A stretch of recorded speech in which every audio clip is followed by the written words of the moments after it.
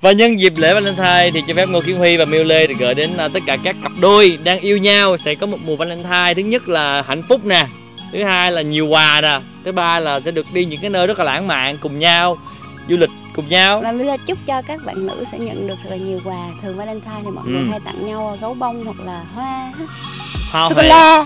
sô cô la. Đó thì chúc các bạn nữ sẽ có một mùa bội thu. Chúc các bạn nữ sẽ ăn sô cô la gặp mặt. Happy Valentine! À, nhân dịp Valentine thì cho Jun cũng giống như là Hoàng Yến Chibi xin chúc cho tất cả các cặp đôi đang yêu nhau sẽ luôn luôn hạnh phúc nè.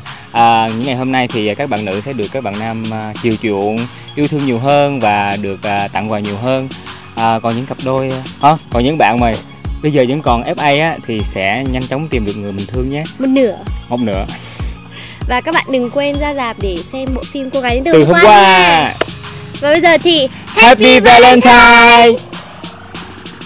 Và sắp tới mùa Valentine rồi thì Tùng Minh muốn chúc cho tất cả các bạn có một mùa Valentine thật là ấm cúng và vui vẻ bên người mình yêu. Còn những bạn nào vẫn đang FA thì à, hãy mau chóng tìm được à, người yêu đúng không? Và cũng sẽ có một mùa Valentine thật là hạnh phúc. Happy Valentine! Valentine.